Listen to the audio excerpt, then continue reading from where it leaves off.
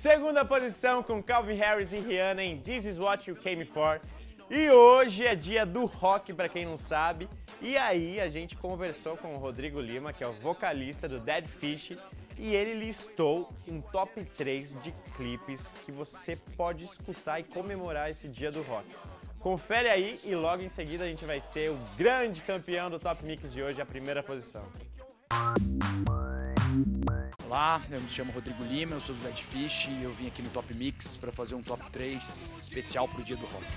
Falta de todos vocês. Em terceiro lugar, eu coloco a música do Grandmaster Flash, The Message, que especificamente não é uma música de rock, mas é uma música que tem uma atitude roqueira e foi uma das primeiras músicas que eu ouvi, é, fora as músicas do sítio do Pica-Pau, do Balão Mágico.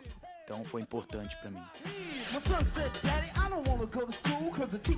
Em segundo lugar, eu coloco a Rise do Sepultura, do mesmo com, música do álbum de mesmo nome.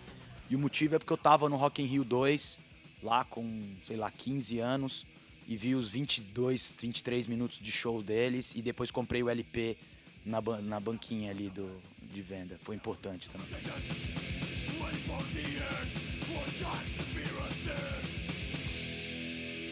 Em primeiro lugar, com muita humildade, é, eu, eu, gostaria de falar que o clipe da melhor banda do Brasil, o Dead Fish, a minha banda, é, que se chama Autonomia, feito por um grande amigo chamado Flávio Bar. Vejam aí, é, é legal também.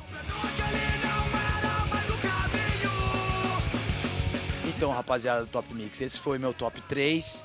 É, eu agradeço aí pela audiência, muito obrigado. Nos vemos por aí pelos shows. Até já.